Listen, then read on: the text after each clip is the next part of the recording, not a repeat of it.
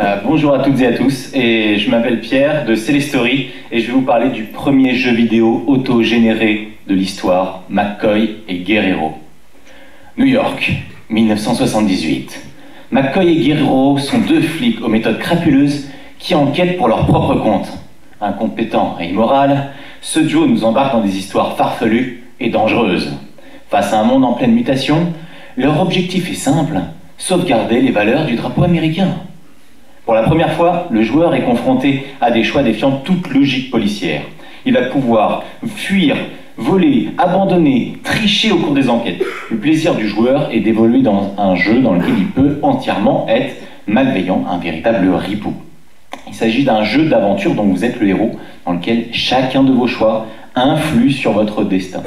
Mélange entre Starsky Hutch et OSS 117, McCoy et Guerrero trouvent son originalité dans un duo haut en couleur et ce duo va croiser de nombreuses stars comme par exemple Joël Astier ou encore Squeezie. Le jeu est composé de 5 épisodes qui vont être euh, très différenciés. Épisode 1, l'invasion des sushis. Épisode 2, la maître chanteuse. Épisode 3, au secours des hippies. Épisode 4, panique à New York City. C'est l'épisode conséquence, l'épisode charnière le maire est pris en otage. McCoy va alors devoir rassembler toutes les pièces du puzzle pour pouvoir le sortir de là. Et si McCoy a plutôt réussi ses enquêtes, eh bien, l'épisode 5, c'est l'arroseur arrosé. Mais si McCoy a été le plus feignant des flics, l'épisode 5 devient un épisode alternatif, c'est le procès de McCoy. Ce jeu est révolutionnaire. Pourquoi Puisqu'il s'agit du premier jeu qui est entièrement conçu autogénéré directement par notre technologie qui permet simplement d'avoir une équipe de production composée de deux personnes. Un scénariste, Clément Rivière, et une illustratrice, Virginie Sifton. Tout de suite, un petit extrait du jeu.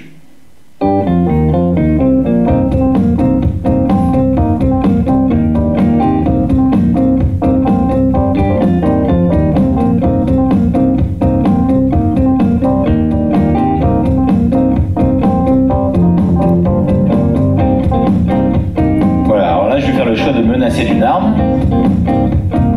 évidemment, ça va changer toute la suite de l'histoire.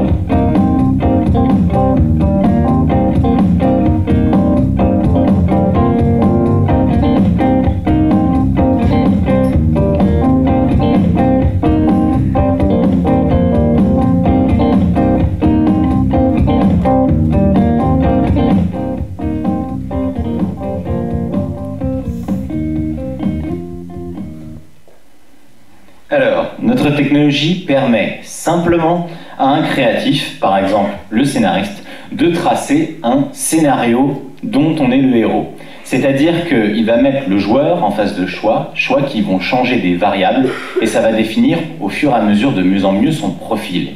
Et là où c'est extraordinaire, c'est que ce scénariste va pouvoir importer des dessins qui directement vont s'animer en fonction des didascalies du script. Donc il écrit les dialogues, il écrit les, didascalies, et les didascalies permettent automatiquement d'animer le jeu vidéo. Le jeu est donc autogénéré. Et ce n'est pas pour rien si en fait les grandes majors hollywoodiennes utilisent déjà ce type de jeu narratif pour mesurer l'appétence du public pour leurs histoires. Nous, on a juste trouvé un moyen de produire des jeux vidéo 100 fois moins cher. Voilà. Donc McGoy et Guerrero a besoin, pour 6 heures de contenu, d'un budget de 2000 euros. Voilà, qui nous reste à trouver. 2000 euros, donc c'est assez euh, groundbreaking. Et alors, si vous aimez euh, les aventures dont vous êtes le héros, eh bien, vous pouvez être le héros de l'aventure Célesterie en nous soutenant. Voilà, merci beaucoup, merci infiniment.